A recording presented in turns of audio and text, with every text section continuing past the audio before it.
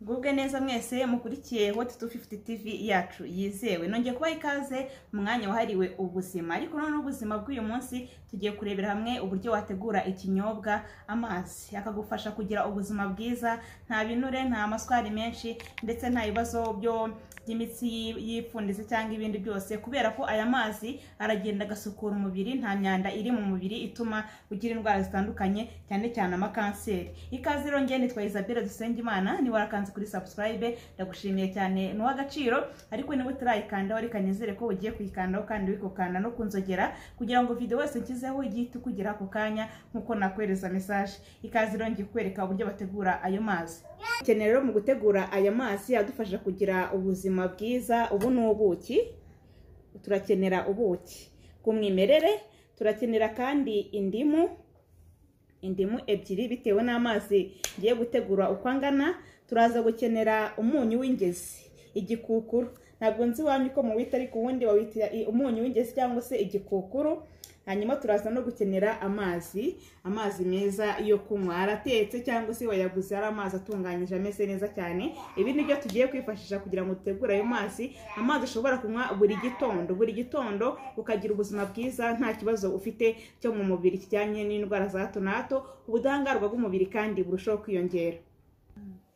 Dufite ijage tugiye guteguriramo aya mazi. Wenda ufite icupa ufite agacuma ufite isafuriya ufite isorori biraterwa n'ahantu ugiye kuvangira aya mazi. Dufite rero n'amazi. Iyi ngiyi ni litiro. Ndategura amazi angana na litiro. Niyo ngiye gutegura nko kugira ngo mberekere uburyo aya mazi uzajya uyategura. Iyi ni litiro. Yego. Hanyuma muri iyi litiro ntabwo igikukuru cyangwa se umunyu w'ingezi wose twawushyiramo ahubwo turashyiramo mukeya kuko uyu nguyu urakora cyane. Niwo tubanzamo rero kugira ngo ubanze uyenge. Murabizi ko igikukuru ni umunyu mwiza cyane w'ingirakamaro uzarebe n'ibiribwa wenda iyo byatinze gushya turavuga nk'abantu bategura isombe ibishyimbo bikomeye igikukuru gishyiramo bigashya. Impamvu rero ni uko uyu munyu ari ingirakamaro cyane ku mubiri. Urategereza rero uyu nguyu. Impamvu rero tubanjijemo ni ukugira ngo uyenge. Turakoresha ubuki muri litiro y'amazi. Turakoresha ubuki ibiyiko bibiri.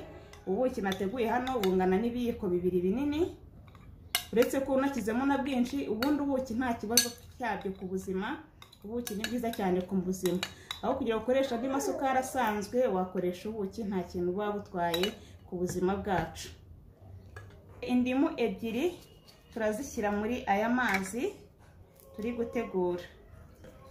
Urakoresha umutobe wayo. Impamvu nkoresheje kano kayunguruzo ni ukugira ngo muri aya mazi izi mbuto z'indimu zitaza kujyamo ugasanga uri kugenda uhura na zo cyangwa se zikakururira ndashaka ko tubona umutobe w'izi ndimu ebyiri. Shyira muri aya mazi. Mwibutse ko indimu ni urubuto rwiza cyane ku mubiri. Mu kongera ubudahangarwa bitewe n'uko indimu ikize kuri vitamine c. Indimu igukingira indwara zitandukanye nyinshi ikongera ubudahangarwa ikavura inkorora ibicurane. Indimu ubundi ni umuti mwiza cyane noneho ku bantu bifuza gutakaza ibiro kunanuka indimu ni umuti mwiza nabarangira. Aya mazi rero na yo ni ingirakamaro cyane ku muntu wifuza gutakaza ibiro.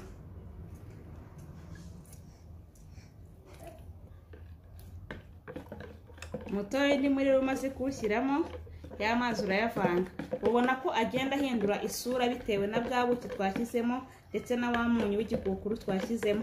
Urakomeza ukavanga kugeza igihe wa munyu ubonye ko uyenze. Amazi aba abonetse yo kunywa ukayanywa mu gitondo. Ikirahure kimwe mu gitondo kiba gihagije ariko ushatse wanakirenza kuko aya nta ngaruka na nkeya atera ku buzima bwacu. Ahubwo ni umuti mwiza.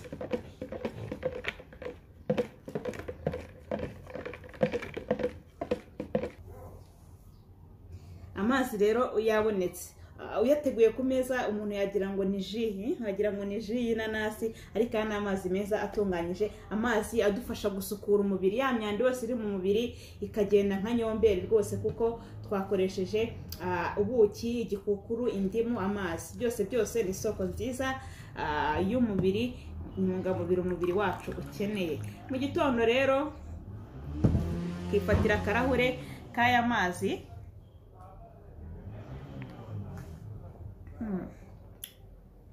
n'umuntu wenda yajya kunywa amazi mu gitondo hari ukuntu unywa amazi mu gitondo ukibyuka ukumva aguteye nk'isereri yakuriye mu nda cyangwa se mu mutwe ushobora gukoresha aya mazi rwose wumva ko ari meza cyane.